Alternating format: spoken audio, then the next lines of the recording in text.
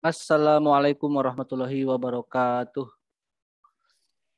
Waalaikumsalam warahmatullahi wabarakatuh.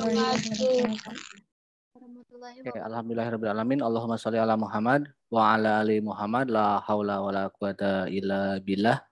Rabbi shrahli sadri wa yassirli amri wahlul 'uqdatam min lisani yafqahu qawli amma ba'du. Selamat sore kepada teman-teman kelas B ya, betul? Di jurusan Kesehatan Masyarakat Fakultas Ilmu Kesehatan Universitas Siliwangi tadi opening sebenarnya kalau kelas Anda itu sudah saya langsung jelaskan ya di tapi saya mau mencoba untuk mereview ulang membuat konten khusus tentang perbedaan ya atau perbandingan ideologi liberal, komunis dan Pancasila. Oke, kita sudah masuk ke pertemuan lanjutan ya materi bab 2. Bab 2 ini materi yang sangat panjang, mungkin perlu waktu satu bulanan lah ya. Banyak sekali uraian yang per step per step harus kita bahas bersama dan saya baru mengasih upload ke Anda untuk menyimak dulu bab 2 bagian pertama ya. Walaupun memang ada materi-materi yang kurang Anda pahami di bab 1 yang belum disinggung, bolehlah. Karena setiap bab di kuliah kita ini materinya sangat berhubungan satu sama lain. Oke, silakan sekarang Anda siapkan diri Anda ya untuk menyimak kuliah, untuk berdiskusi ya. Jiwa dan raganya saya harapkan sudah menyatu di sini gitu ya. Walaupun ini kuliah pengganti. Dan dari 41 ini baru 38 kita tunggu ya mudah-mudahan teman-teman yang lainnya segera mendapatkan hidayah untuk uh, gabung di ruangan Zoom ini untuk berdiskusi bersama. Hari ini hari Kamis tanggal berapa ya? Ada yang ingat tanggal?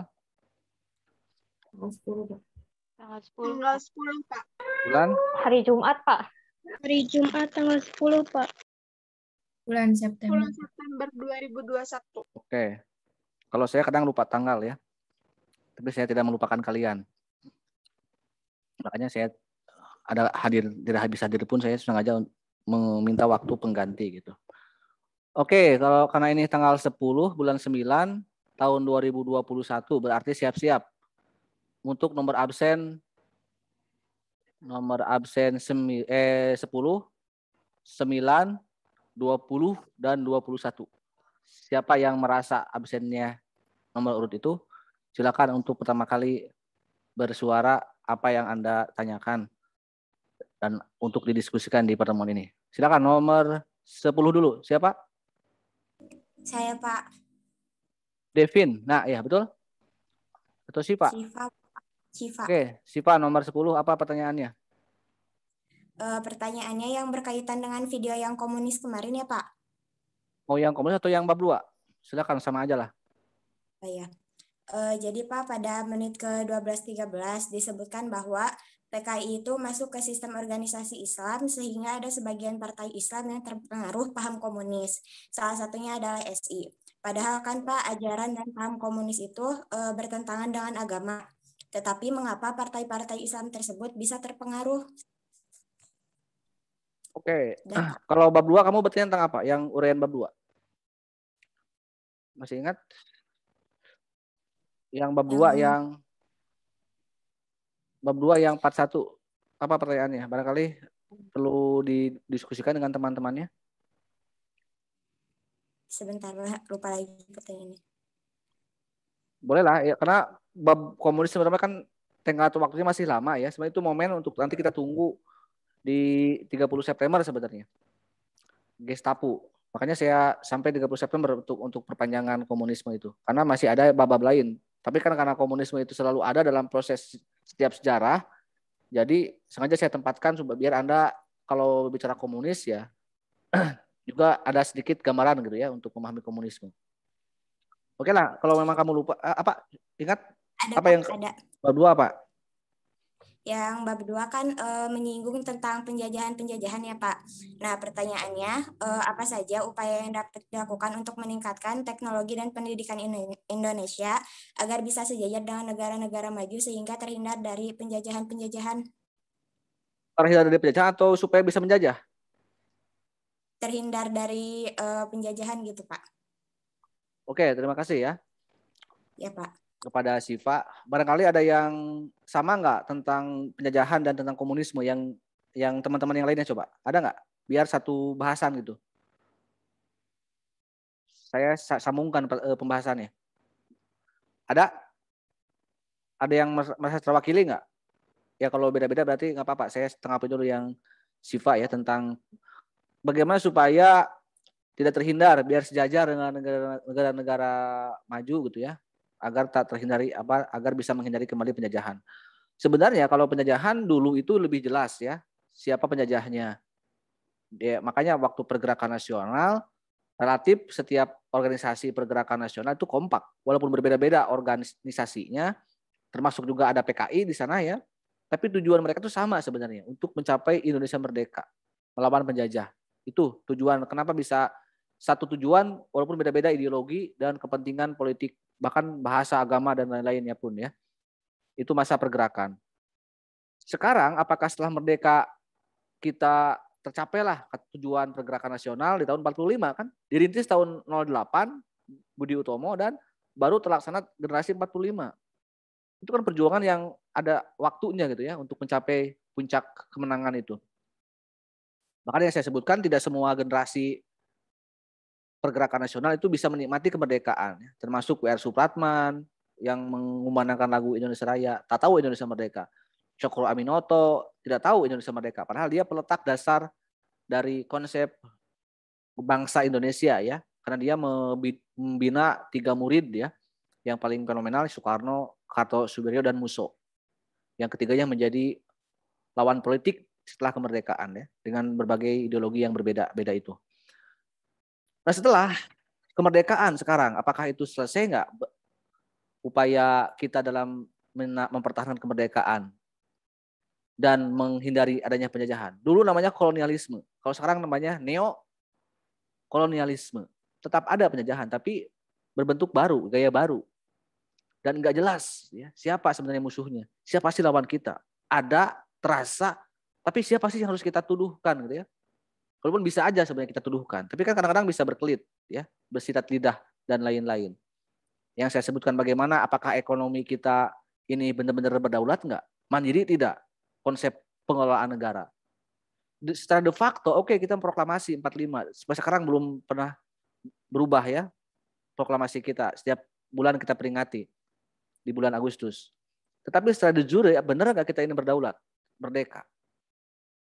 Dalam kebijakan menentukan kebijakan ekonomi, menentukan kebijakan untuk vaksin misalnya ya, untuk uh, urusan COVID, pandemi, kan tetap aja ada mungkin ada negara yang mengintervensi. Jangan beli vaksin dari negara A, beli aja dari negara sini misalnya. Belum lagi proyek-proyek infrastruktur yang berbentuk investasi asing dengan dalih untuk memperkuat ekonomi nasional. Padahal kan malah tambah parah kan ya, malah minus sebelum pandemi pun sudah minus apalagi sekarang setelah ada pandemi ya yang semua usaha-usaha dalam negeri banyak yang ditutup dengan beberapa kebijakan PPKM, PSBB dan lain-lain sementara investasi asing terus ngucur ya gitu dan minta cashback juga mungkin yang tak terhindar apa yang tak terduga ter tak terkira apa cashback dan dana pengembaliannya. Jangan jangankan bayar utang. Bayar bunga utang aja kita masih ber, harus berutang jadi kacau gitu ya. Jadi memang inilah yang disebut dengan neo kolonialisme. Tentunya teknologi bukan berarti kita ini anti teknologi ya, nggak apa-apa sebenarnya ya. Kita nggak perlu maksa-maksain punya teknologi membuat mobil seperti SMK ya. Buat apa coba efek kita harus maksa-maksain berdaulat di bidang otomotif. Kalau memang itu secara pangsa pasar kalah bersaing, secara kualitas juga jauh misalnya. Apalagi mobil kan bukan barang bukan barang mahal, eh bukan barang murah ya. Kalau sembarangan bikin mobil, jelek kualitasnya, nggak bisa bersaing di pasaran internasional. Untungnya itu mobil musiman ya, hanya ada ketika pilpres dan pilgub DKI dulu gitu ya. Jadi itu yang saya kira kalau masalah kemajuan teknologi itu tergantung bijak aja kita menggunakannya. Ya, karena kita nggak mungkin juga kita ini pencipta teknologi. Jepang pun bukan penemu teknologi, hanya melanjutkan ya, menginovasi. Mobil, motor kan aslinya dari produk Eropa. Karena Jepang ya mungkin sekarang bahasanya plagiat gitu ya. Plagiat tapi dengan kualitas dan teknologi yang mungkin bisa dan pangsa pasar yang relatif bisa diterima dengan barang-barang Eropa ya. Kalau kita lihat otomotif Jepang itu. Oke itu ya, Sipa. Lanjut dulu ke nomor urut 9 yang mewakili bulan 9. Hari ini ini tanggal cantik ya. 10 9 21. Udah anggapnya tanggal cantik lah daripada kalian sok-sokan tanggal jelek ya udah apa aja biar kita ini hati kita ter terbawa cantik. Silakan nomor 10 siapa? Jangan pura-pura bete lah. Nanti aja di rumah pura-pura bete-nya kalau sudah pulang ke rumah. Di sini mah pura-pura bahagia aja. Sok serius gitu ya. Salma, betul Salma nomor 10? Ya, absen 9, Pak. Apa? Eh, tadi komunis uh, lah. Nanti kalau ada yang ini saya komunisme nanti saya tanggapi. Apa Pak? Lanjut dulu ke Salma coba. Uh, di pertanyaan saya di menit 22 uh, mau bertanya kan apa yang ditanamkan pemerintah kolonial terwarisi oleh sebagian besar orang Indonesia sekarang.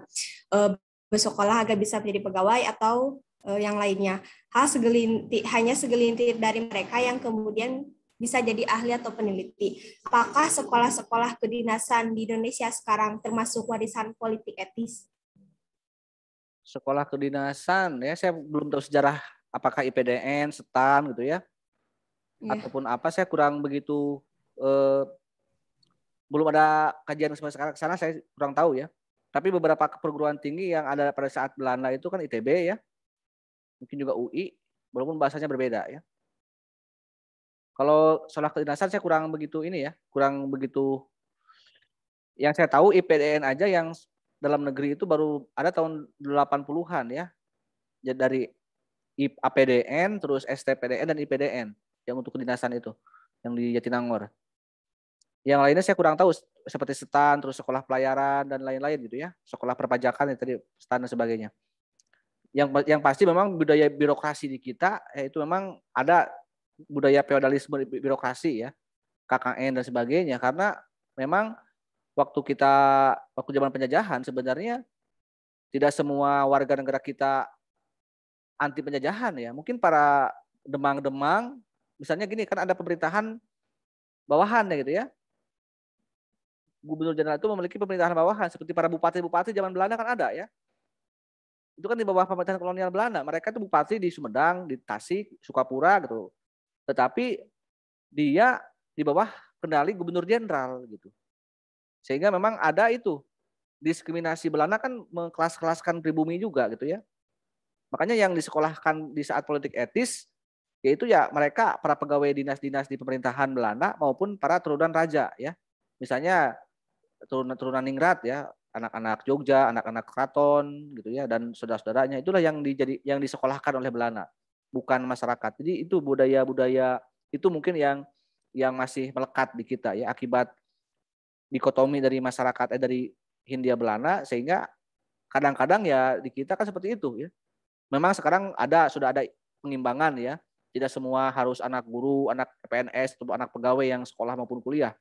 Tapi ya sekarang sudah ada perlahan misalnya tukang dagang, tukang beca pun kalau dia memang niat untuk menyekolahkan anaknya kan banyak juga yang bisa disekolahkan ya dan ingin sekolah. Termasuk saya, saya ini tidak punya tidak punya basic keluarga yang yang tadi saya sebutkan ya.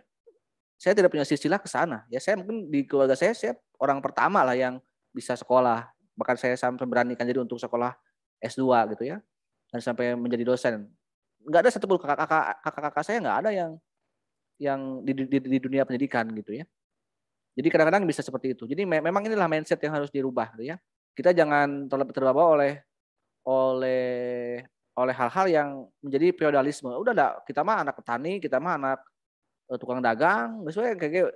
masih banyak perusahaan mah kamu yang penting SMA aja cukup lah. Nanti tulikin we pasar bapak, pasar ibu misalkan di punya jongkok, punya kios. Kadang-kadang banyak yang seperti itu ya. Tapi juga ada yang memang sudah bisa perlahan ya.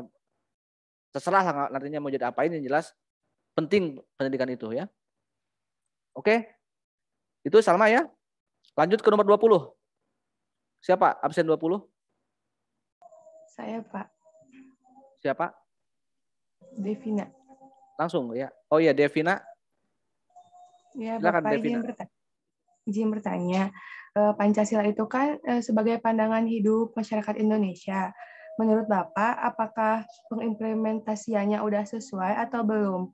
Kalau belum, apa yang harus dilakukan atau diperbaiki oleh masyarakat, termasuk mahasiswa? Oleh masyarakat atau oleh negara? Ke masyarakatnya dulu, Pak. Ya, kalau masyarakatnya kan nggak menjadi soal ya ketika kita sudah berbuat baik, ketika kita sudah beribadah sesuai agama kita, kita baik dengan tetangga, kita hormat pada guru, kita hormat pada dosen, kita hormat pada orang tua, kita taat pada aturan negara, bayar pajak, itulah Pancasila. Kalau bagi masyarakat mah selesai sebenarnya. Ya. Urusan beda pikiran kan itu urusan lain ya misalnya. Kenapa sih ada yang pilihannya ke A, ke B, ke C, ke D kalau dalam pemilu itu kan itu hak. Itu itulah Pancasila juga ya. Persoalannya yang saya yang saya maksudkan sebenarnya yang paling nukik kenapa Pancasila ini seolah-olah tidak ada karena memang dari bukan sebagai pandangan hidup tapi sebagai sebagai dasar negara yang nanti bab 3 kita bahas. Bagaimana aturan-aturan negara itu berdasar bersumber dari Pancasila. Ini yang yang belum ini di sana ya. Misalnya begini nih. Ini Pancasila sumber dari segala sumber hukum ya. Kalau sebagai pandangan hidup bangsa, sebagai ideologi, ini kan jelas. Kita pun langsung aja rakyat kita taat pada sila pertama yaitu beribadah sesuai agama. Kita taat pada sila kedua rakyat ketika rakyat misalnya saling menghargai hormat menghormati. Kita taat sila ketiga ketika rakyat telah eh, sadar bahwa kita ini berbeda tapi satu tujuan ya, persatuan Indonesia. Taat sila keempat ketika kita berbeda pendapat sebagai rakyat, kita bermusyawarah. Betul? Ketika kita taat pada sila kelima ketika kita sudah berlaku adil ya, baik untuk diri sendiri, untuk teman, untuk keluarga. Itu rakyat sebagai pandangan hidup. Tapi ini ada fungsi atau ada kedudukan yang lebih penting sebagai dasar negara. Pancasila diturunkan ke dalam Undang-Undang Dasar 45. Saya sering mencontohkan misalnya ketika pasal 33 eh, sila kelima keadilan sosial ada pasal 33 ya Undang-Undang 45 tentang bumi, air dan kekayaan alam lainnya. Itu dikuasai oleh negara untuk kemakmuran rakyat. Itu undang-undang dasarnya. Lalu ada di sini etap MPR ya. Di bawah undang-undang dasar. MPR, ada ketetapan MPR ya, etap MPR itu. Ada undang-undang ini yang banyak dibuat oleh DPR oleh presiden, undang-undang tipikor, undang-undang minerba, undang-undang undang-undang kesehatan, undang-undang pendidikan, undang-undang pendidikan tinggi, undang-undang omnibus law ya kemarin ya cipta kerja yang rangkuman dari semua undang-undang. Banyak ini yang dibuat. Inilah yang harusnya menjadi ini kan hanya negara coba. Apakah kita bisa membuat undang-undang? Enggak, ini ini tugas DPR, tugas presiden. Ada per ada PP, ada Perpu dulu di sini ya. Setelah PP ada Perpu, ada PP, peraturan pemerintah, ada Perpres, peraturan presiden, bahkan ada peraturan menteri di sini di bawahnya lagi. Ada Perpres, Permen, sampai paling bawah ada Perda ya, peraturan daerah, kota atau kabupaten provinsi. Perda provinsi, di bawahnya Perda kota kabupaten. Inilah harusnya yang berpancasila ini ini. Presiden, DPR, ya, menteri, bupati, gubernur wali kota. Dalam hal apa? Dalam kebijakan-kebijakan yang dikeluarkannya. Nah kalau itu sudah dikeluarkan ya tidak terikat oleh utang asing, oleh kepentingan Cina, oleh kepentingan Amerika Serikat, itulah Pancasila sebenarnya akan lebih objektif dirasakan oleh masyarakat ketika sudah dijadikan sebagai dasar negara. Oke itu ya, Devina. Jadi jangan menyiksa diri ya kalau kita sudah merasa berbuat baik mah kita berarti kita ini sudah sudah menjadi orang yang berpancasila. Pak Jokowi secara pribadi nggak ada persoal ya. Dia kalem misalnya, dia dekat dengan rakyat, dia sering belusukan, tapi sebagai presiden itu bukan itu yang diharapkannya. Tapi kebijakannya. Gak apa-apa Pak Jokowi pakai pakaian kayak Soekarno ya, gagah misalnya, perlente, biar punya wibawa di hadapan negara-negara lain, nggak diledek, nggak dihina ya. Bukan itu stylish silahkan ya pakai pakai sederhana, pakai kemeja, pakai kaos oblong. Itu is oke, okay, itu nggak masalah gitu ya, mau bagaimanapun. Secara pribadi itu ya gaya itu bisa bebas ya. Selama mungkin tidak melanggar etik ya atau enak dilihat. Itu kan masalah subjektif ya, masalah selera e, tampilan mah ya, bebas lah. Tapi yang penting bagi seorang bukan pengkritik itu bukan berarti benci sama pribadi Pak Jokowi secara individu, tapi sebagai presiden itu ya sebagai presiden dia harus paham kebijakan negara, ya harus paham dasar negara bahwa saya ini presiden loh ya, dipilih langsung oleh rakyat, saya punya komitmen setia pada Pancasila, setia pada Undang-Undang 45, bukan dari gayanya, tapi dari kebijakan yang dihasilkannya. Ketika KPK meresahkan misalnya eh, menguntungkan koruptor, dikritik, ya dia yang itu yang yang dia pertimbangkan. Ketika omnibus law banyak merugikan guru, pegawai-pegawai perusahaan-perusahaan dalam negeri, itulah yang harusnya menjadi pembuktian Pak Jokowi sebagai orang yang berpancasila ya, bukan dari tampilan pribadinya. Itu ya kalau saya seperti itu ya. Sekali lagi bukan benci pada karakter sebagai pribadi, tapi karena dia sebagai presiden yang memang harus lebih dari orang lain dari rakyat biasa ya tanggung jawabnya. Oke, silakan nomor 21. Siapa? Saya Pak, Raihan. Ya, silakan eh, Rayandra Habib. Januar. Uh, bicara tentang uh, bicara tentang pembentukan atau perumusan Pancasila ya Pak. Ya. Kan uh,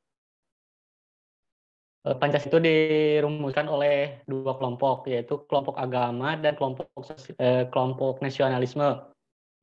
Namun uh, kata Bapak juga ada yang apa uh, kelompok apa komunis juga ikut dalam perumusan Pancasila. Nah, apakah ada pengaruhnya terhadap Pancasila tersebut, Pak? Enggak, saya tidak menyebutkan komunisme terlibat ya di saat perumusan. Oh. Hmm. Karena perumusan Pancasila itu nanti di part 2 ada video lagi yaitu dari mulai sidang BPUPK 1 eh 29 April sampai 1 Juni. Di sinilah perumusan Pancasila ya. Dan pada saat oh, tahun ya. 45 di bulan itu memang tidak ada tokoh-tokoh komunis, tidak ada PKI, sedang tidak ada ya. Karena mereka ada memang tahun tahun 20 pada saat pergerakan nasional tadi pada saat tadi pertanyaan dari yang pertama tadi ya mengenai komunisme. Komunisme itu awalnya kan dibawa oleh ketika politik etis ketika muncul golongan terpelajar kan bukan hanya sekolah-sekolah di bukan hanya paham-paham pendidikan yang berhaluan liberal ya seperti sekolah umum atau yang berhaluan Islam seperti pesantren maupun Timur Tengah basic ilmunya tapi juga ada kelompok-kelompok pelajar Belanda yang membawa paham komunis yang namanya, namanya Snapfleet. Nah di Belanda itu juga ada oposisinya, ada partai sosialis ya, partai kiri yang mengkritik partai liberal yaitu penguasa pemerintahan Belanda. Nah di Belanda kan banyaknya liberal, tapi ada sebagian kecil kelompok komunis, kelompok sosialis namanya Snapfleet. Dia kan bagian dari Belanda kita itu ya, dulu itu. Nah dia juga menyebarluaskan paham, mencari kader-kader orang-orang Nusantara, orang-orang Indonesia. Tetapi kurang mendapat respon dari masyarakat. Kenapa nggak nggak dapat mendapat respon? Karena memang mungkin beda, gitu kan.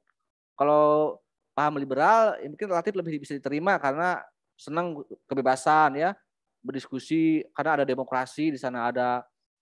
Nah sementara paham-paham komunis yang spesifik mungkin tidak begitu banyak pengikutnya karena ada suatu satu organ yang sangat populer, yang sangat berkembang di Jawa, namanya Serikat Islam. Yang saya sebutkan bentukan Cokro Aminoto. Paling banyak menyebar ya berbagai kota-kota. Karena menarik bahasannya itu ya. Mungkin ya menjadi apa ya yang paling disukai oleh oleh anak-anak muda saat itu ya, para kelompok-kelompok pelajar muda. Makanya Soekarno sampai ngekos di rumahnya Cokro Aminoto, sampai harus menikah juga dengan kan istri pertama Bung Karno itu anaknya Cokro ya. Yang neneknya Maya Estianti itu kan mantannya Bung Karno. Tapi tidak punya anak dari Bung Karno. Bung Karno itu berpisah dengan eh, anaknya Cokro itu namanya Utari ya. Bung masih belasan tahun, masih 17, 17 tahun kalau tidak salah. Utari masih 15 tahun. Dan Soekarno kuliah kan di Bandung. Dia bertemu dengan Ibu Inggit. Ibu Inggit itu ibu kosnya di Jalan Inggit Ganasi sekarang, ya, di daerah Buah Bon Kalapa di Bandung, masih ada rumahnya, masih ada jalannya. Dan Soekarno memang dididik oleh Bu Inggit, diasuh lah, diurus sampai dia menikah dengan Bu Inggit dan memang saat itulah Bu Inggit menjadi pelindung Bung Karno pada saat dia ya sedang mungkin butuh lah orang-orang kalau zaman kalau Nabi itu seperti dengan Siti Aisyah apa Siti Fatimah eh, istri pertama Rasul tuh Khadijah ya. Jadi seorang bujangan atau seorang muda kawin dengan nikah dengan janda kaya gitu kan berjuang habis hartanya sama lah persis kisahnya seperti itu ketika dengan Bu Inggit Soekarno itu sampai akhirnya Soekarno itu banyak diasingkan ke berbagai tempat yang ada filmnya itu dimainkan oleh Mbak Imong dan Premita Rosadi ya Bung Karno di ND saya, saya akan search di YouTube coba. Itu kisah bagaimana Bu Inggit menemani Bung Karno di ND ya. Berkenalan dengan dengan orang-orang Timur dengan NTT ya dengan bagaimana dia ngaji dengan orang-orang Islam dan sebagainya. Bergaul dengan orang-orang Katolik. Makanya Soekarno paling bagus nanti di pas perumusan Pancasilanya ya. Dan dengan kurang lebih setelah beberapa kali diasingkan ke dihukum oleh Belanda di beberapa tempat ya karena Belanda itu takut juga setelah setelah banyaknya pergerakan nasional memang Soekarno termasuk orang yang sering dihukum ya oleh Belanda walaupun hukuman pada Soekarno hanya berupa penjara penjara bahkan pernah disidangkan di pledo yang monumental di Bandung ya di di Bancai dengan Indonesia menggugat itu kan pidato yang sangat monumental dari Bung Karno di saat dia sedang pembelaan di hadapan hakim-hakim Belanda. Dan akhirnya dia dibuang ke Bengkulu gitu kan. Di Bengkulu dia bertemu dengan Ibu Fatmawati ya. Dan akhirnya karena Ibu Inggit tidak bisa memberikan keturunan karena sudah relatif lebih tua gitu ya dari Bu Inggit akhirnya kan jauh umurnya dengan Bu Karno Bu Inggit itu. Dia menceraikan Bu Inggit secara baik-baik pulang ke Jakarta karena ada Jepang dan menikah dengan Fatmawati. Dan melahirkan ya anak-anaknya yang menjadi presiden kita yang ketiga ya Ibu Megawati eh keempat Ibu Megawati itu kan anaknya Bu Fatmawati. Dan anak-anaknya banyak juga dari Ibu Fatmawati. Itu kurang lebih. Jadi kalau PKI kenapa dilarang karena lebih keras daripada PNI ya daripada SI gitu langsung ingin merdeka langsung memberontak itu yang disukai oleh oleh Belanda sehingga langsung aja di, dikabur di backlist. Jadi organ terlarang di Hindia Belanda tahun 20 Nah, saya nggak bawa bukunya, saya ada sebenarnya contoh bukunya ya. Dia saat di saat bahkan Bung pun pernah berpikiran hal itu ya karena ada karya buku Soekarno yang terkenal di tahun 20-an. Islamisme, Marxisme dan nasionalisme ya. Makanya nanti ada nasakom itu karena Soekarno berpikir, saat mudanya berpikir hal itu. Islam, agama ya, komunis dan liberal atau nasionalis. Itu ya, jadi memang saat itu komunisme tidak ada. Dan kalau seandainya 45 itu ada komunisme, ada PKI, saya yakin tidak akan ada Indonesia, tidak akan ada Pancasila. Karena biasanya orang komunisme tidak mau berdebat. Kalau kalah berdebat dia akan langsung aja memberontak. Ya. Karena dia datang, ya kan datang lagi tahun 48 langsung pemberontakan. Tahun 48 langsung dibunuh kan oleh Soekarno, dihukum. Musonya. Padahal Muso kan teman sekolahnya tadi di, di Cokro ya di tahun 20-an itu. Dan 65 adalah bukti terakhir bahwa PKI memang hobinya yang memberontak dan membunuh warga masyarakat yang tidak berdosa. Coba Anda lihat aja lah, Anda profil Soviet ya, bagaimana hobinya Lenin Stalin. Kalau ada masyarakat yang melawan, memberontak, langsungnya dibunuh. Dan Muso, Aidit itu belajar cara membunuh rakyat itu dengan belajar dari langsung ke gurunya yaitu Lenin dan Stalin karena lulusan Soviet, Rusia ya. Makanya kenapa bisa bisa menjadi partai larang itu track recordnya mereka kalau Islam dan nasionalis kan hanya berdebat dalam sisi pemikiran, nggak langsung baku hantam langsung ke saling bunuh di akar rumput tidak ada. Makanya kenapa 45 mungkin ada berkah ya, tidak ada paham-paham komunis yang radikal pada saat perumusan Pancasila. Karena kalau kalau seandainya ada, saya bilang tidak akan muncul, tidak akan ada kata sepakat, pasti ada ada darah yang yang terkait yang ternodai mungkin ya. Sama ya buktinya kan setelah merdeka pun mereka nggak tanggung-tanggung ya membunuh para kiai membunuh para santri di tahun di Madiun dan di dan 65 lebih lebih parah lagi kan pemberontakannya atau kejadiannya. Oke itu ya Habib. Januar. Silakan yang lainnya Habib coba tunjuk satu orang teman siapa aja bebas yang kamu ingat aja yang ada di layar saya aja ya Iya, itu silakan. uh, I I Hesne. Ai katanya dipanggil oleh Habib. Ada Ai? Ya, Pak, yang tentang komunis ini. Yang apa-apa yang yang mau komunis atau mau kedua-duanya silakan. mau sekalian dibahas? Eh, Bentar, Pak.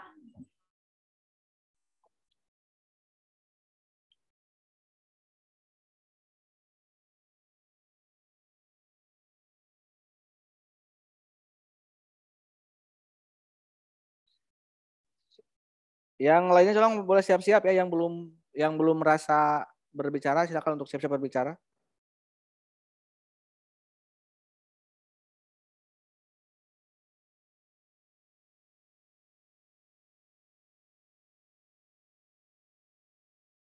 Atau mau yang lebih dulu silakan siapa? Sambil nunggu Ai yang masih mencari.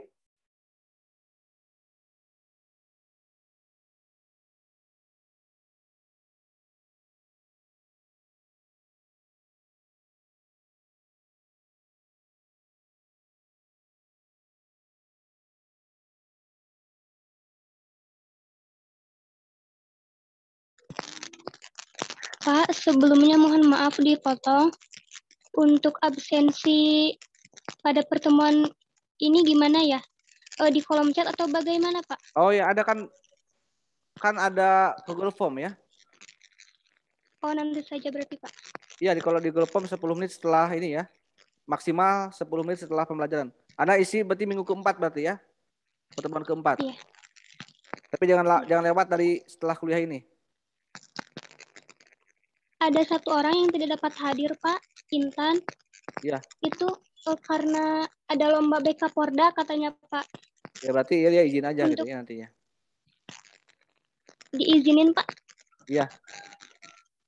Iya, Pak. Baik, Pak. Terima kasih. Oke, silakan lanjut coba.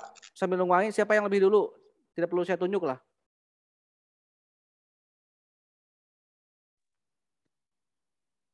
Izin Pak saya.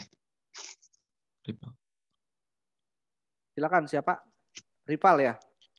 Rival. E, pertanyaannya disebutkan ya di dalam videonya itu bahwa salah satu faktor yang membuat adanya penjajahan itu adalah berkembangnya ilmu pengetahuan yang menyebabkan revolusi industri.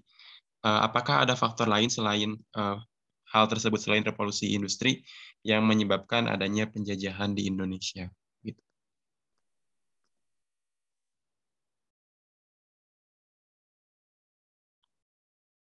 Oke, uh,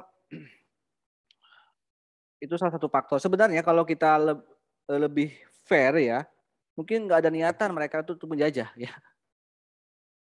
Kan awalnya hanya menjelajah ya. Ketika perubahan sosial dari masyarakat industri, eh dari masyarakat agraris ke masyarakat industri kan seiring dengan berkembangnya ilmu dan pengetahuan yang meningkat, muncul revolusi industri, ditemukanlah barang-barang temuan-temuan mengenai mesin-mesin dan hasil-hasil produksi industri di Eropa semakin meningkat ya. Artinya kalau sudah ada perubahan sosial dari masyarakat agraris mungkin ke masyarakat industri akan ada kebutuhan yang meningkat dari masyarakat ya. Sehingga tidak mungkin eh, dia hanya tinggal di di Eropa saja untuk membutuhkan memenuhi kebutuhan hidupnya. Kan mungkin butuh untuk liburan ya butuh untuk santai, butuh seperti kopi, teh dan sebagainya. Jadi sebenarnya itu. Jadi kebutuhan yang meningkat dan hasil produksi yang surplus. Ketika hasil produksi yang lebih banyak kan dengan mesin kan akan lebih banyak karya-karya eh, ekonomi itu sehingga butuh pasar untuk mendagangkannya. Mau ke mana coba ya? Apalagi dari, dari sisi sejarah politik kan ada di jatuhnya Konstantinopel ya kekuasaan di Eropa itu di Eropa Timur khususnya itu sudah dikuasai oleh eh, Turki Utsmani itu yang membuat bangsa Eropa semakin tidak bisa bergerak bebas di negaranya sehingga dia harus mau tidak mau harus berpikir lebih luas lagi ke mana kita mencari wilayah baru untuk pasar ekonomi maupun untuk mencari sumber sumber kebutuhan masyarakat Eropa yang sudah semakin tinggi. Nah, karena ada tunjangan teknologi, makanya mereka bisa menemukan Asia ya termasuk menemukan Nusantara dan bisa menemukan eh, benua-benua lainnya ya yang akhirnya menjadi wilayah koloni mereka, wilayah imperium mereka. Makanya saya katakan, coba yang pertama kali datang ke kita siapa? Bangsa pertama yang singgah di Banten kalau tidak salah ya. Tahun 1511. Bangsa mana? Portugis bukan Pak? Ya, Portugis. disusul Spanyol, kemudian Belanda. Itu pedagang ya, itu saudagar, bukan tentara. Artinya bahwa pandangan pertama atau cinta pertama itu bukan Belanda ya, tapi Portugis. Cinta kedua adalah mungkin Spanyol dan Belanda adalah orang ketiga gitu ya yang singgah di Nusantara. Tapi kenapa tiba-tiba Belanda yang bisa berkuasa dan melakukan kolonialisme dan imperialisme ke kita? Itu kan makna bahwa ternyata ya yang PDKT-nya siapa, tapi yang jadiannya siapa kan gitu ya. Jadi cinta pertama atau pandangan pertama itu tidak menentukan ternyata ya. Kenapa coba Belanda bisa lebih menyentuh hati ya dalam tanda petik itu bisa lebih berkuasa, bisa mengusir, bisa menyingkirkan Portugis, bisa menyingkirkan Spanyol. Portugis harus lari ke mungkin ke Timur Leste ya. Dan Spanyol ke Filipina. Makanya lihat sejarahnya kan Filipina itu penjajahan Spanyol. Leste ya, yang pernah singgah juga sebentar kita kecuali Raul Lemos dan Krisdayanti mungkin yang sudah tidak dengan yang masih bersatu. Apa coba yang membuat Belanda bisa bersatu? Eh bisa menguasai Indonesia. Sebelum menjajah ya, tapi ini pedagang Belanda. Kan yang namanya pedagang bersaing ya. Orang Portugis, kapal orang Portugis, kapal orang Spanyol. Banyaklah para pedagang dari berbagai negara, katakanlah tiga negara itu saling bersaing dan nggak ada yang yang menjadi memperkuat Belanda itu karena mereka bersatu ya. Para pedagang Belanda itu membuat kongsi dagang yang disebut dengan V V ya O VOC jadi kuncinya bersatu sebenarnya. Mungkin anda ada pepatah pernah mendengar ya. Kebaik atau kejahatan yang terstruktur akan mengalahkan kebaikan yang tidak terstruktur. Jadi ya harus terorganisir kejahatan yang terorganisir akan kebaik, mengalahkan kebaikan eh, akan mengalahkan kebaikan yang tidak terorganisir. Mungkin bagi kita POC adalah bentuk kejoliman ya, bentuk monopoli dagang terhadap pribumi. Tapi bagi mereka itu nilai bagus karena mereka bersatu. Kita apakah diam ketika ada POC? Enggak. Kita pernah melawan pedagang Portugis ya. Samudra di coba aja perang pernah melawan juga kan sejarah Jakarta, sejarah Jakarta kan itu melawan Portugis ya. Eh, siapa tuh? Eh, Patahilah ya. Apalagi Belanda, banyak kok kita ketika ada POC melawan kok. ketika bahkan setelah POC bangkrut dan akhirnya menjajah politik melawan kan nggak bersatu. Nah itulah uniknya POC Belanda bersatu sehingga mereka bisa mengalahkan bisa mengusir Spanyol bisa mengusir Portugis karena lebih lebih kuat persatuannya orang orang Belanda itu pada saat menguasai kita. Dan kita melawan tapi tidak tidak bersatu. Perang di Penogoro misalnya. Memang itu sengit ya, lima tahun. Dari maghrib sampai isya kan ya. 1825 sampai 1830. Ya. Jeda antara maghrib dan isya itu perang di perang di Penogoro. Sampai ketekor katanya Belanda itu. Tapi karena Belanda walaupun tekor, mereka bisa minta bantuan kepada pasukan Belanda di Sumatera, pasukan Belanda di Kalimantan, di Sulawesi, karena mereka satu satu satu negara, satu satu gubernur jenderal Hindia Belanda. Sementara kita misalnya ketika di Penogoro habisan kehabisan eh, energi untuk melawan Belanda, minta bantuan ke Imam Bonjol. Eh siapa lu gitu kan? Karena mereka nggak saling mengenal.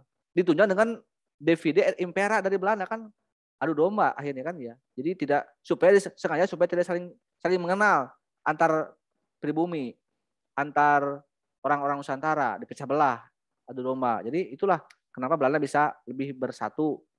Itulah pentingnya persatuan ya. Untuk keburukan pun bisa lebih akan tercapai tujuan. Apalagi untuk kebaikan. Kita punya kebaikan untuk berjuang, untuk melawan kejoliman, untuk melawan ketidakadilan. Kalau tidak bersatu melawan satu musuh yang berbahaya itu, kita tidak akan bisa mencapai tujuan, tujuan itu. Akan kalah oleh kejoliman yang terstruktur, yang terorganisir. Itulah kenapa setelah politik etis dan setelah pergerakan nasional itu bisa berubah dan mencapai titik ke tahun 45 karena terorganisasi, terorganisir perjuangannya. beda sebelum politik etis mereka ya berjuang atas nama masing-masing. Dan dengan kekerasan kan. Kalau daerah pergerakan kan bukan dengan kekerasan tapi dengan otot eh, dengan otak. Dengan intelektualitas melawan penjajahnya. Karena sudah berpendidikan. Itu ya. Kurang lebih jawaban untuk Ripal ya. ya bahwa Pak, memang kasih, Pak. banyak faktor gitu ya yang menyebabkan eh, kenapa kita sampai dijajah karena tidak bersatu dan tidak belum memiliki SDM yang kuat ya, untuk dan belum sadar mungkin ya awal-awal ada Belanda ada yang merintah nggak sadar nggak sadar gitu dianggapnya itu pemerintahan aja gitu mungkin selama tujuh turunan ya kan itu bahasa itu sering ada bahasa itu kan tujuh turunan tidak sadar bahwa kita ini dijajah sebenarnya, dikuasai oleh asing. Bayangkan dari dari abad 16 ke abad 20. Kita di bawah kendali Eropa ya. Bisa ya Spanyol, Portugis, Inggris ya, Prancis, ya Belanda gitu kan. Karena pada saat Belanda kalah perang oleh Inggris atau Prancis kalah oleh Inggris, kita di bawah kendali Inggris, dikasih serahkan ke Inggris. Itu teori perang kan seperti itu. Dan kenapa saya bilang Prancis? Karena Prancis itu negara yang menjajah Belanda. Jadi yang unik ketika Belanda menjajah Indonesia, Belanda itu sedang dijajah oleh Prancis. Jadi itu yang yang unik di zaman zaman feodalisme ya. Makanya ketika kita merdeka dan datang lagi sekutu di tahun 46, mereka sekutu masih menggunakan cara feodalisme, cara kolonialisme. Karena merasa kalau kalau kenapa bisa coba eh, Jepang bisa menguasai kita karena Jepang mengalahkan Belanda.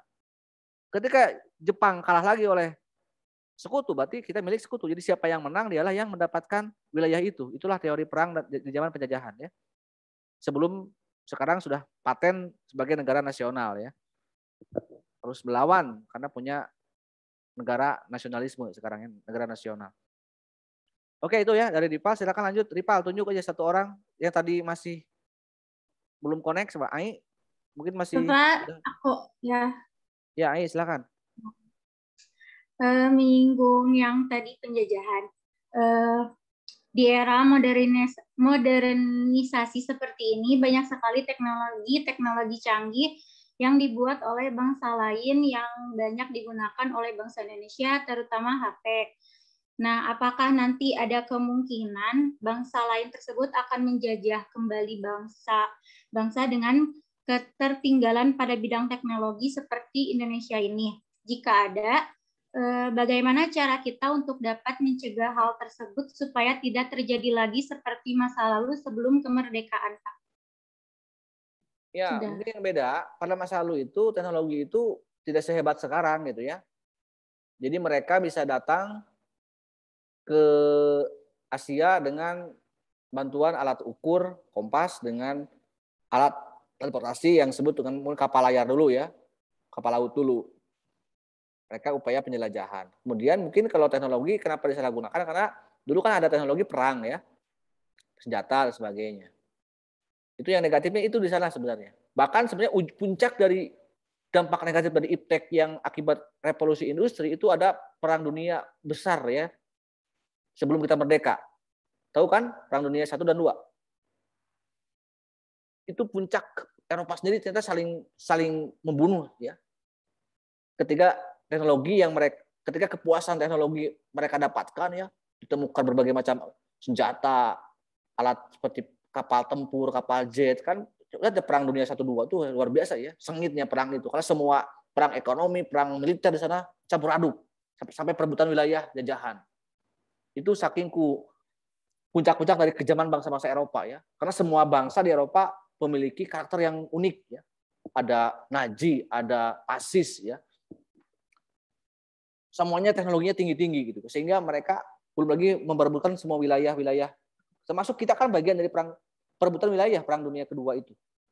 Antara Naji dan Pasis dan blok sekutu gitu.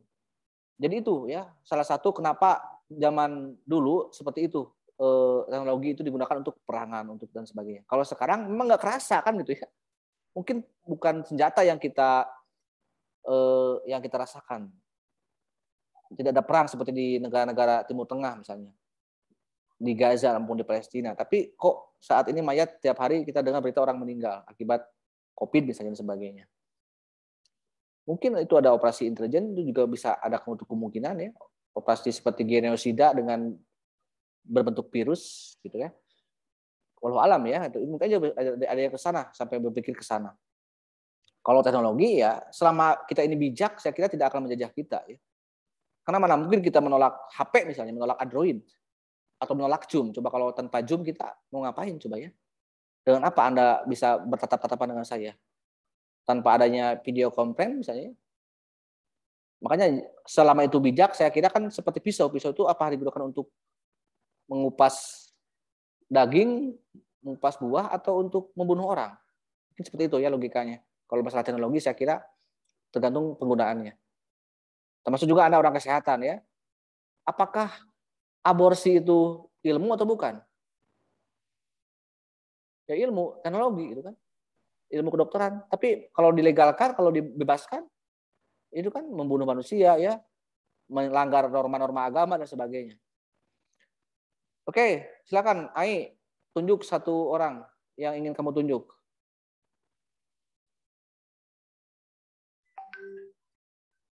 Uh, Talia. Talia. Ya. Uh, kan dijelaskan bahwa uh, kemerdekaan bagi bangsa Eropa adalah terbebas dari raja-raja feodalisme. Yups. Tapi nggak dijelasin makna kemerdekaan bagi bangsa Indonesia itu apa? Uh, emang nggak tahu. Perlu dijelaskan emang. Iya, di Eropa itu ditindas oleh raja-rajanya ya. Napoleon Bonaparte itu misalnya yang paling yang paling promenal ya, raja yang paling sukses, kebesar karena ya termasuk juga menjajah menjajah Belanda kan, Prancis itu. Memiliki istri yang super mewah ya gaya hidupnya. Kalau sekarang pun bahasanya apa perempuan sosial apa? Social distancing, ya, apa? Perempuan yang sering hobinya jalan-jalan ya gitulah sosialita, social distancing, silakan bebas ya. Tergantung niat kita mau apa ya. Dan dilawan oleh rakyatnya gitu ya. Itu mungkin sama seperti itu ya. Anda lihat bagaimana eh, ketika revolusi Amerika Serikat kan melawan raja raja, raja Inggris ya. Hampir semua seperti itu di Eropa. Di kita sebaliknya gitu ya. Memang bukan melawan Raja Majapahit, Raja Sunda Empire atau melawan Prabu Siliwangi kalau di Pajajaran, tapi melawan siapa coba? Waktu kita berjuang dalam pergerakan nasional, kita berjuang mereka dari siapa? Dari siapa? Apakah dari Raja Majapahit, dari Raja Pajajaran, dari Raja Jogja, Raja Mataram? Rakyat kita dulu melawan di pergerakan nasional melawan siapa? Penjajah. Melawan penjajahan asing, melawan Belanda, melawan Jepang, gitu. Itu mana bagi kita. Sehingga fighting spirit sama, rasa cintanya sama, tapi eh, beda ininya, beda beda rasa sedikit lah ya. Rasanya ada, tapi ruang dan waktunya berbeda. Kan cinta itu berbicara ruang dan waktu ya. Betul apa betul? Kan kebangkitan nasional, nasionalisme, rasa cinta tanah air. Jadi kemerdekaan itu adalah sebelum merdeka ada rasa dulu. Rasa cinta terhadap tanah air. Sekarang kita udah merdeka belum? Kita udah merdeka belum sekarang? Sudah. Sekarang Indonesia sudah merdeka belum? Secara de facto? Sudah. Sudah. Sudah. Sudah, Pak. Masih penting nggak nasionalisme? Masih. Masih. Masih. Kan udah merdeka. Kan gitu ya. Dulu itu ditanam, dipupuk dulu rasa cinta. Di tahun di pergerakan nasional. Puncaknya adalah 45. Sekarang setelah 45 apakah harus hilang rasa cinta itu? Karena sudah tercapai tujuannya. Sama ketika misalnya begini, ketika seorang seseorang yang 45 itu diibaratkan sebagai hari jadi atau hari ijab kabul. Ya di depan penghulu ya dan dicatat oleh KUA kalau bagi umat muslim. Apakah setelah menikah itu hilang rasa cinta itu? Karena sudah ah udah udah mes capek sama orang ngawin si neng misalnya. Rumah rumah orang we geus kawin? Mah rek dihideung rek dibeuremkeun harusnya kan terus, terus ditumbuhkan rasa cinta itu. Kalau banyak bertanya ya Pak bagaimana cara meningkatkan rasa cinta setelah di era sekarang? Ya itu logikanya. Jadi 45 ini adalah hanyalah titik awal menuju rumah tangga gitu ya mungkin kita ini memasuki tahun keberapa ya harusnya kan ada peningkatan harusnya gitu ya 45, 50, 60 ada G30 SPKI. 2098 ada reformasi jatuh bangun rumah tangga kan seperti itu.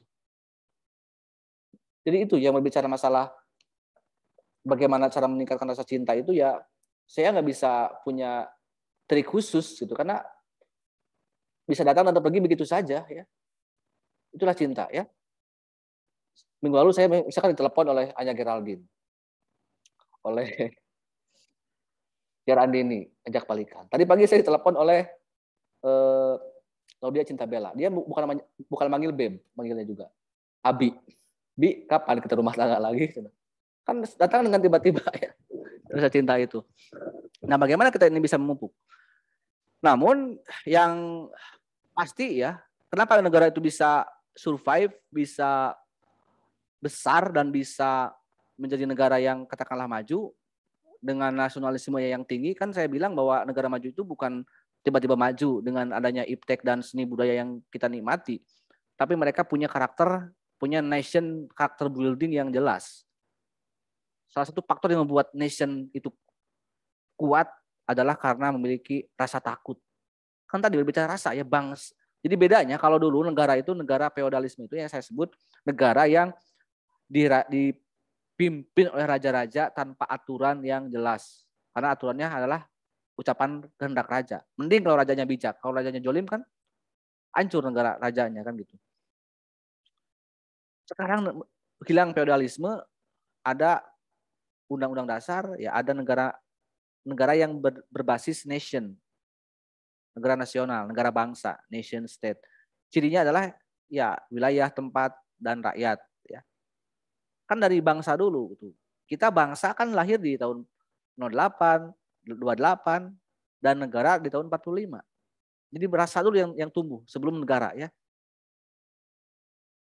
Nah, tadi negara-negara itu ketika sudah memiliki nation state sendiri berarti punya ciri sendiri, punya hal-hal yang membuat takut dan bisa antisipasi bangsa itu untuk bertahan dan lebih kuat. Kenapa Amerika negara adik kuasa selain karena sejarah negara pertama yang lahir ya di abad modern? Bayangkan kita 45 abad 20. Amerika 1776. Selisihnya hampir 200 hampir 2 abad. Wajar secara usia. Tapi lihat apakah hanya usia itu menentukan tidak juga ya.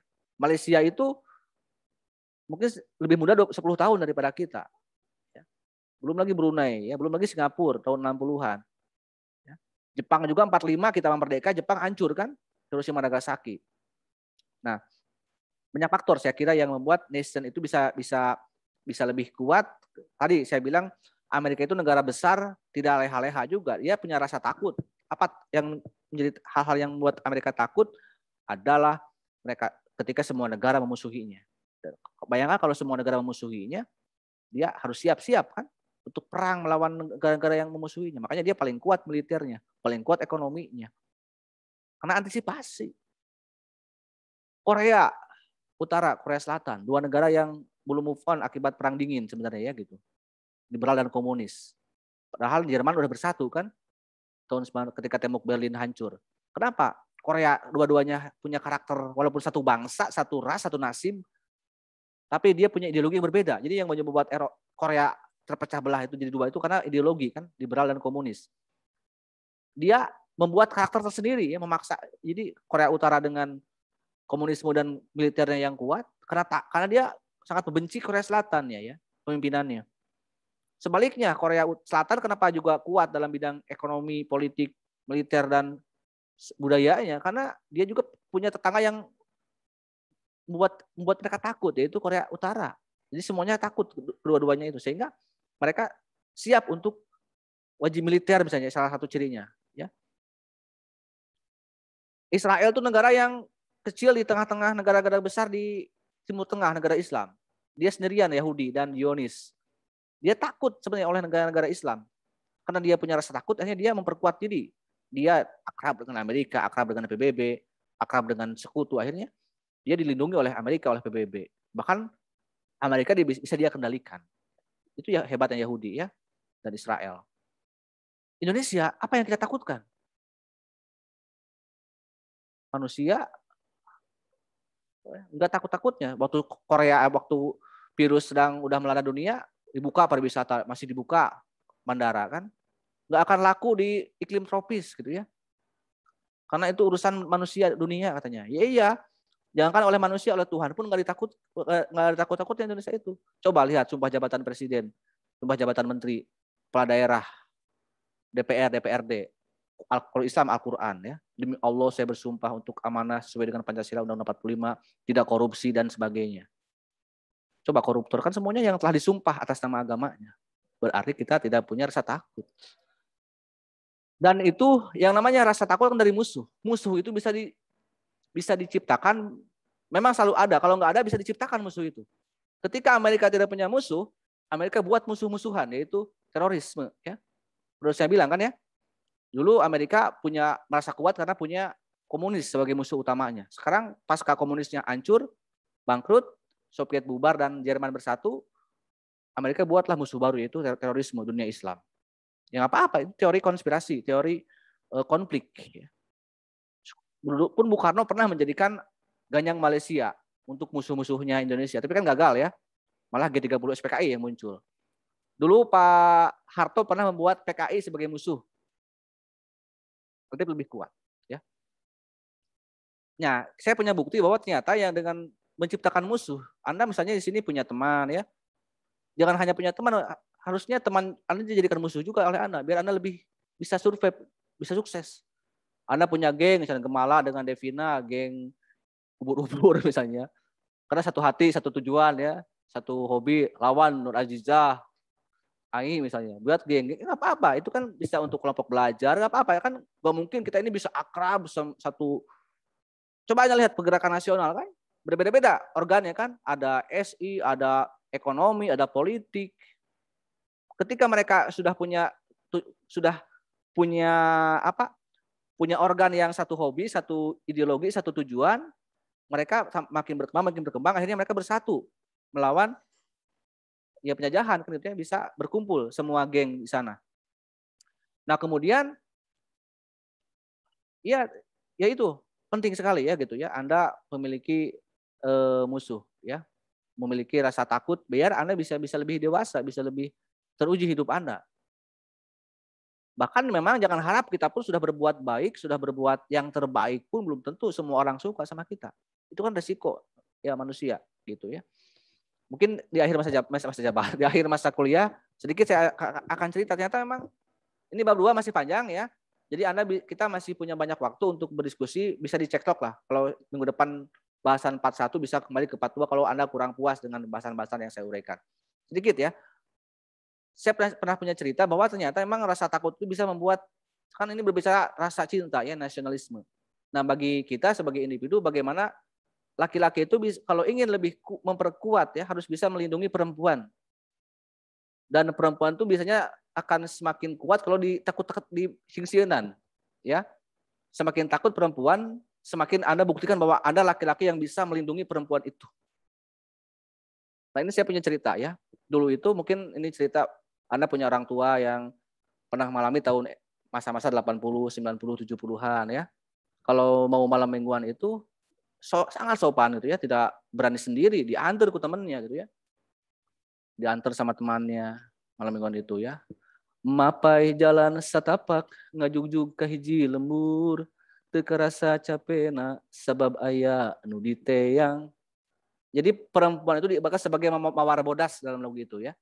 Dulu sebenarnya perempuan pernah diibaratkan sebagai seperti rembulan, ya, indah seperti rembulan. Tapi itu terbantahkan ketika Neil Armstrong dan Edwin Aldrin mendarat di bulan. Ya. Ternyata bulan tidak seindah yang dibayangkan. Karadak bulan itu. Sehingga banyak perempuan yang menolak diibaratkan sebagai rembulan. Kita anggap memar bodas. Ya. Jadi penuh perjuangan ya, mapai-mapai kampung mungkin ya, rumah panggung, tahu kan? Nah, rumah panggung itu kan rumah ada panggungnya ya, rumah tetapakan, ada kolongnya gitu ya. Nah, kenapa harus bawa teman? Karena takut di jalan, biar ada nggak ada begal, takut jurig dan sebagainya. Tapi ini yang satu cerita, kamu nanti kalau udah nyampe rumah pacar saya ya, pada, pada yang nganter, kamu jangan ikut masuk rumah. Tapi kamu mah cukup nunggu di kolongnya aja. Nah, di kolong apa? Ya tugas kamu membantu saya apa? Kamu karena kita unsil ya, ini mempunyai kita rekbus unsil, ada maung, jadi menjadi mamaungan.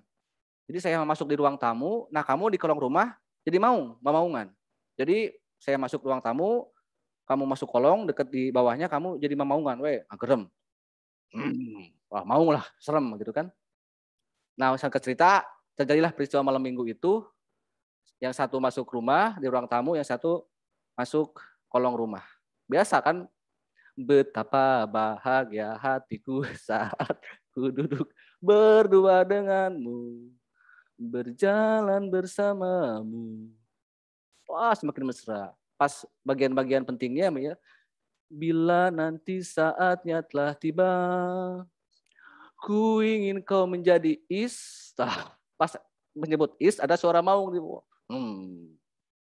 Kan sih, serem ya kan awalnya merewas takut ya. Aduh aa atut aung. Nah, kasih laki ya bukan sama tiap ada momen-momen itu ada suara mau aa tiun.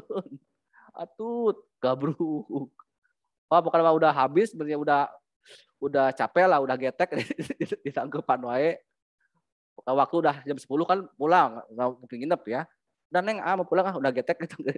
Di tanggapan wae dia mau pulang kan dia oh kan saya mau pulang kan saya teman teman saya ke mana coba ke kolong nah ke kolong rumah. Ah cina tuh tinggal tulang ngungkul pasti tinggal di kolong nanti ternyata yang tadi kegerematnya bukan mau mau nggak tapi mau beneran. Dan temennya udah habis jadi makan mau ya.